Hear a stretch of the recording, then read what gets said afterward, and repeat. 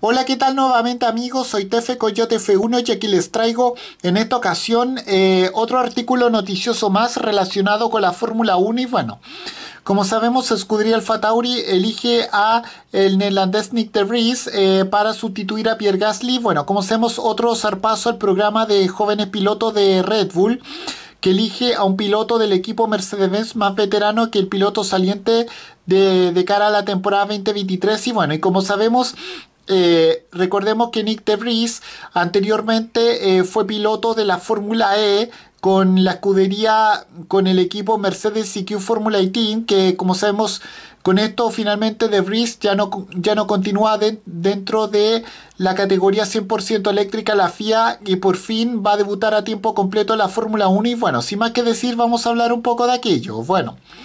Como sabemos desde Carlos Sainz, el programa de jóvenes pilotos de Red Bull, el Red Bull Junior Team, responsabilidad de parte de Helmut Marko no encuentra su camino. Y bueno, como sabemos, eh, el neerlandés Max Verstappen, quien está a punto de ser campeón mundial por segunda vez, fue ha, sido fichado ya directamente con asiento en la Fórmula 1 y desde aquel entonces tanto los que han alcanzado la máxima categoría como los elegidos en categorías de formación no dieron el rendimiento esperado. Y bueno, esta vez no es eh, ni un eh, repescado del programa que ya fichó que ya fichó por la Fórmula E como Alex Albon, ni de repescado venido de resistencia como Brendan Harley, ni tan siquiera un japonés recién llegado a Europa como es Yuki Tsunoda. Esta vez Red Bull pesca directamente en el equipo Mercedes-Benz y bueno.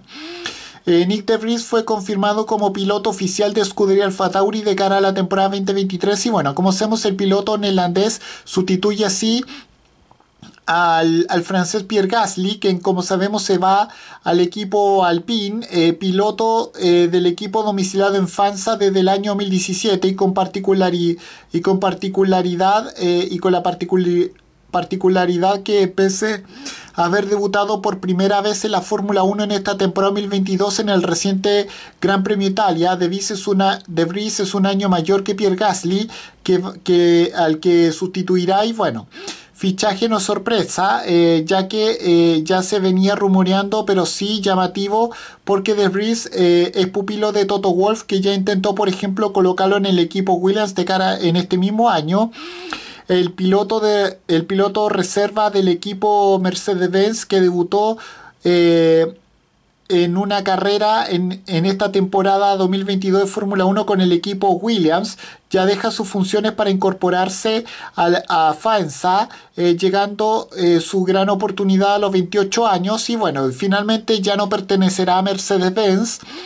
Y recordemos que anteriormente fue campeón de la categoría Fórmula E y anteriormente... Eh, y anteriormente debutó con la escudería Williams eh, e, en, el, reciente Gran Premio de Italia este año y bueno, bueno, estoy muy emocionado de unirme a, la escudería Alfa Tauri para 2023 y quiero agradecer tanto a Red Bull como al equipo por darme la oportunidad de conducir en la Fórmula 1. Después de la Fórmula 2 tomé un camino ligeramente diferente por el automovilismo, pero la Fórmula 1 siempre ha sido mi sueño y estoy agradecido de poder cumplirlo. He tenido muchas oportunidades de experimentar el auto 2022 este año y creo que eh, eso me ha colocado en una excelente posición para la próxima temporada.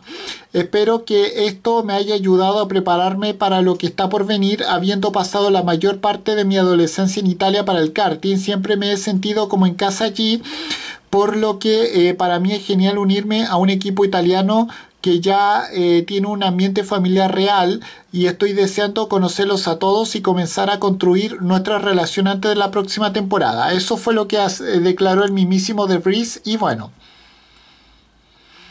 Eh, la escudería Alfa Tauri tuvo un periodo muy exitoso con Pierre, nunca olvidaremos su fantástica victoria en Monza, sus podios en Brasil y Azerbaiyán. Quiero agradecer eh, a Pierre por todo el esfuerzo que ha puesto en el equipo en los últimos años y le deseo lo mejor para su futuro. Ahora nos complace comenzar un nuevo capítulo con Nick, que es que es muy bienvenido en Escudería Fatauri, el piloto muy habilidoso, ya que ganó en todas las categorías en las que compitió con muchas carreras y campeonatos en su haber. Su, su último gran éxito fue ganar el Campeonato Mundial de Fórmula E y esto es una clara evidencia de que es un piloto competitivo que merece un asiento en la F1.